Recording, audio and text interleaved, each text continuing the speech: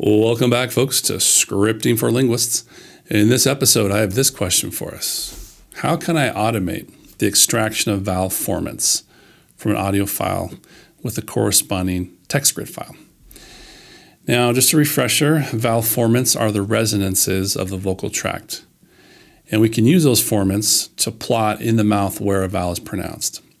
F1 or formant 1 tells you the height in the mouth where it's pronounced, a vowel is pronounced, and F2 or formant 2 tells you the depth or how far back or front in the mouth a vowel is pronounced. For example, as we know, the vowel E is pronounced in a high front position, the vowel U in a high back position, A in a central low position, etc.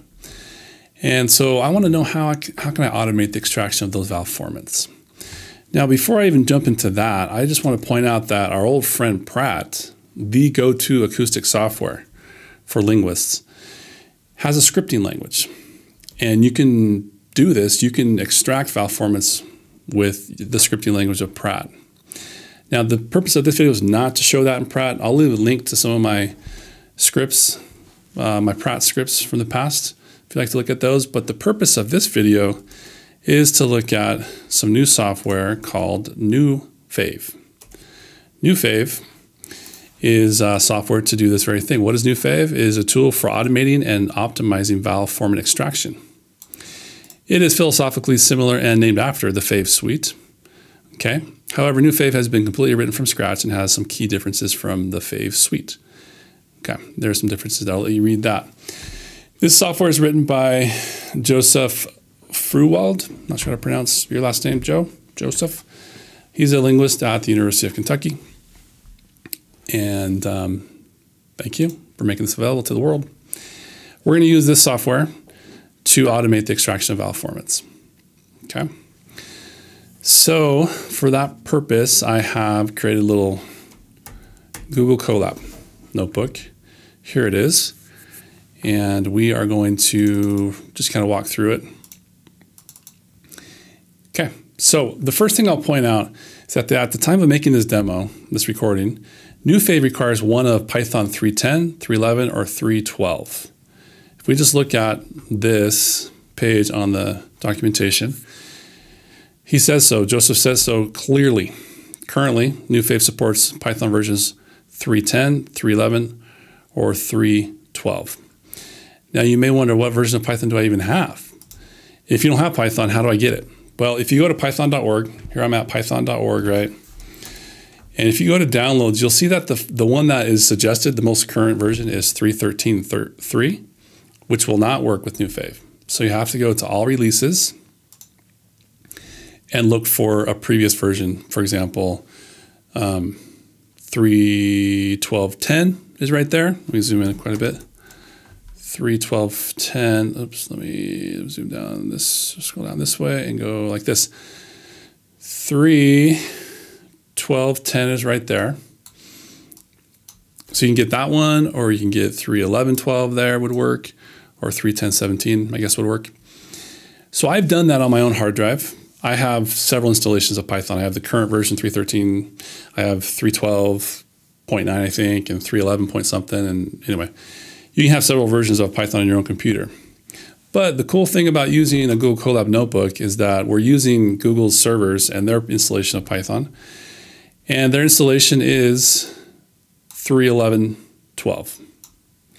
Okay, so we can use their installation.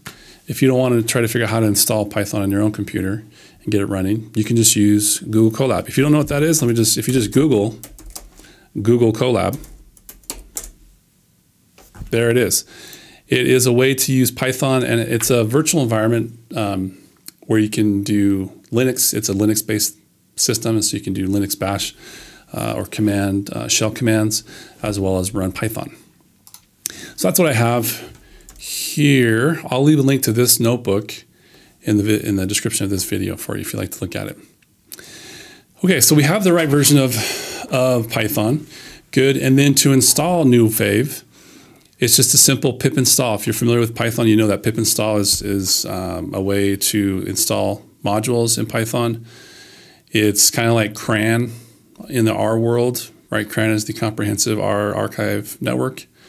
It's kind of the same thing where you have software that people put up, make available to the world. pip is kind of the same thing. There's also Conda, another uh, software repository. But anyway, here we're going to pip install new fave. So pretty simple. In a, in a uh, Google Colab notebook, you put an exclamation point before any bash commands. That's what we're doing here. This is called a bash command. We're going to do exclamation point pip install new fave uh, with a dash between new and fave right there. Me zoom in quite a bit more if we so you can see it very clearly.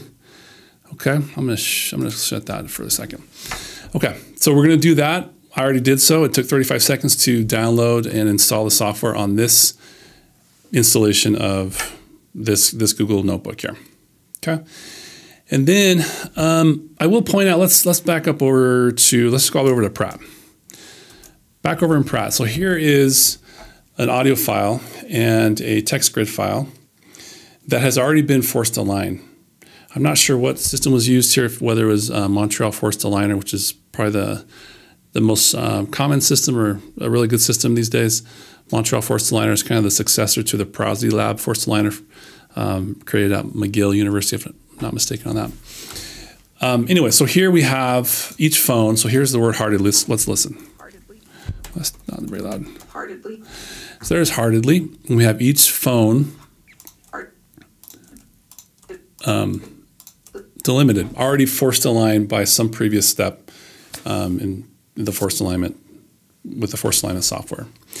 And what we have here are on tier one, down in the text grid area, we have the phones, that is the sounds on tier one. Tier two, we have the words. And then tier three has the whole utterance there. We need to pay attention to tiers one and tier two. So if you have phones on tier one and words on tier two, we need to do something a little bit special when we get to the point where we're actually trying to extract the, the vowels. Let me just jump back over to the internet and go over to um, where do we want to go? We want to go to yeah, let's look at this this um, issue. So on the repository, someone asked the um, someone asked a question. Um, I don't know this person, but they said I have this problem. Here's the error that I get, and I got that same error until I realized, oh, okay, there's a there's a way these need to be organized, which I assume would be the case. So by default, new uh, fave expects like Joseph says here, NewFave expects output of MFA, Montreal Forced Aligner, which arranges tiers like this. Tier one is the word tier, and tier two is the phone tier. But Fave Align produced in the past phones on tier one and words on tier two. And then he says, you can tell NewFave to process text grid with Fave Align with the Fave Aligned flag. And we'll look at that in a second. We'll I'll show you how to do that. That's what, that's what we need to do with the the text grid that I just showed you over in Praat. That's the way it is. We have phones on, on tier one and words on tier two. And then it's not going to pay attention to tier three at all. Okay, so let's come back over here. Um, yeah, so after you download it, it's simple. It's a command line interface. He does point out, Joseph does point out that you can use this within Python if you want. And he gives an example here. This is Python code here. You can use it within a Python script, but he himself says um, it's he, he kind of it's easiest to use as a command line, right? We expect NewFave to be primarily used as a command line tool. Cool, we'll use that as a command line tool. So anyway, that's what I do here. We have an exclamation point within a Google Colab notebook when we're doing a, a bash or a command line call. We have to use exclamation point. And then we have fave dash extract space and then audio dash text grid. So in this case, this function here says, here's one audio file, like a WAV file, and here's one text grid file already aligned, forced aligned. And it's just one. And then here's that flag I just we talked about a second ago. Two dashes, fave dash aligned. And this tells the function that the phones will be on tier one and the words will be on tier two. Uh, it expects it the other way around so here is our, um, oh, I need to back up. Let's go jump over to the left-hand side of our screen and click on the files folder there, the bottom icon there. And um, we first need to upload our WAV file as well as our text grid file right there. I've already done so, but you would just upload your text grid file and your wave file. Right, so those two things right there is what I, well, not that one, this one there, those two. And well, it's going to upload it again. Okay, that's fine. Anyway, so you need to upload those up to your file system um, on the notebook. And good. And then, so that's what this is pointing out. These right here, this, this um, file name, those are the file names I just uploaded. utlab001.textgrid is, let me shut this down so we can look at more. Here we go. So um, yeah, we have utlab001 underscore 16bit.wave. Let me open up the files real quick. There it is, right there. utlab001 underscore 16bit.wave. Good. And then utlab001.textgrid. Now, when you're using, when you're just doing one, one um, sound file with this corresponding text grid, you can have different names. Like this has a different name. It has the, the 16 uh, bit, the underscore 16 bit, whereas the text grid name doesn't have that. But that's all right when we're just using one um, pair there with this particular function, audio text grid. Okay. So that's it. That command right there does it. And when you run it, it took on this, uh, for me, it took 19 minutes right there. You can see that a little bit. 19 and 19 minutes to run um, this interview is about 33 minutes long. And again, it, it, looks like this in Praat. We have phones on tier one, words on tier two, and then the, the utterance down there. But the utterance is unimportant for what we're doing right now. 33 minutes long. Um, so, yeah, that's what it does. And well, the, the results after those 19 minutes or so the results, it, it creates a newly uh, creates a directory called fave underscore results, which should be in the file system of this notebook. Again, if I open up the file system um, right here with the icon, then I see that I have, yeah, right there, fave results. If I expand it down, there are five files in here. Four CSV files and one text grid file. Okay. And you can look at the documentation here. He doesn't have much quite yet, but he's, he points out these are the five things that are saved when you run this aligner. The formant point data, the formant track data, and then the DCT, which is dis, um, discrete cosine transform parameters for the formant track data, as well as the log version of those. It's tracking, it kind of smooths out the, the track, the movement of the vowel in the mouth and then a recoded text grid. Okay, that's what's saved out um, by that command line interface function. And good. So now within this Google Colab, we need to zip up that directory and create a zip file. I'll just call it the same name, fave underscore results.zip, zipping up that directory. And when we do that, we end up with a there it is, fave underscore results.zip. And then finally, we can right click on the three vertical uh, dots right here and download this to our hard drive. Okay. And I've already done so before this video started, so I'll, I will not do so now. But then out on your hard drive, you can use whatever software you want to do whatever type of analysis you want, right? For example, if you want to do a classic vowel plot, with uh, formant 1, F1 on the y-axis and formant 2 on the x-axis, inverted or reverse scales to get the position of the mouth, right? E is high front, ooh, high back, etc.